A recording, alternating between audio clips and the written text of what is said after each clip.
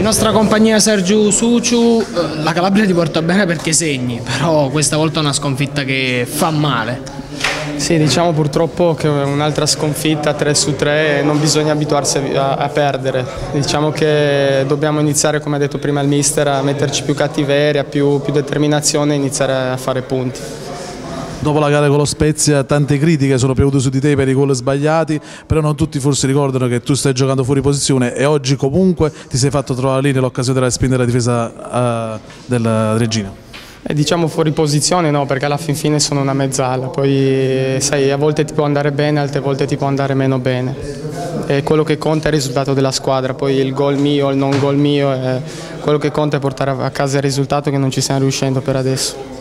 La prossima partita con Siena, un, un altro diciamo, test importante, lo sapevamo all'inizio della stagione, eh, come vi approcciate? Ecco, qual è l'umore eh, nello spogliatoio dopo questa sconfitta rocambolesca contro la Regina?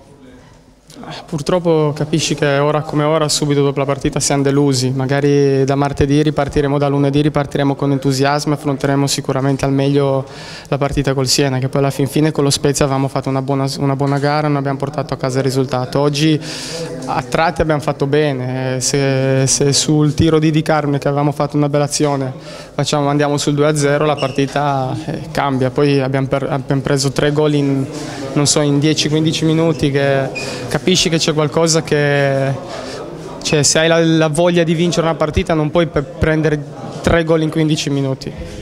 Sergio, per quanto riguarda l'atteggiamento di Diop che è stato duramente attaccato anche dal mister, tu che magari lo conosci perché entrambi venite dal Torino, che cosa ci puoi dire? È un ragazzo un po' particolare, però avrà i suoi difetti, però chiaramente forse era la voglia di giocare quella che lo ha fregato ecco, in quell'occasione. Io non ho visto l'episodio, ovviamente se ha, se ha, fatto una cosa eh, che, che ha detto il mister mi dispiace, ma io conosco il ragazzo, magari sarà stato deluso per il cambio perché sicuramente vorrà giocare.